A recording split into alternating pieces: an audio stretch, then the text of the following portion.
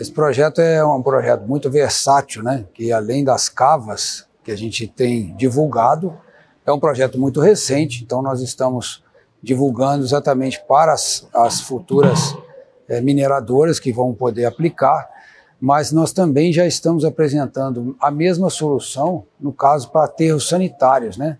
que aí você evita de fazer perfuração e aí você pode usar também esses flutuantes sobre as bermas, que são chamadas as, as coberturas de terra sobre a, a, toda a parte de descarte de lixo, né? Então também pode ser aplicado para esse fim. Então está um momento ainda de divulgação e esperamos em breve ter aí já fortes candidatos, porque você evita de furar e aí você tem hoje todos os aterros sanitários têm um reaproveitamento dos gases, né?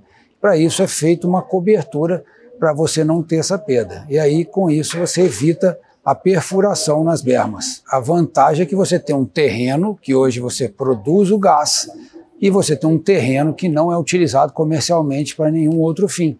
Então é uma possibilidade de você estar tá reutilizando a área gerando energia e porque não gerando uma nova receita para a empresa. Esse primeiro que nós vamos apresentar na palestra dele foi feito numa cava exaurida, mas que pode ser utilizado em qualquer tipo de reservatório.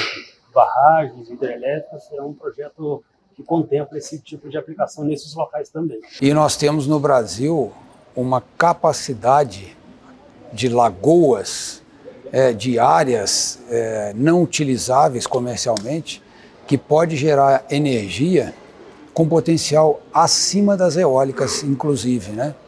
Então, é, se for aproveitado essas áreas que muitas vezes estão sem uso, nós teremos um grande potencial para solar.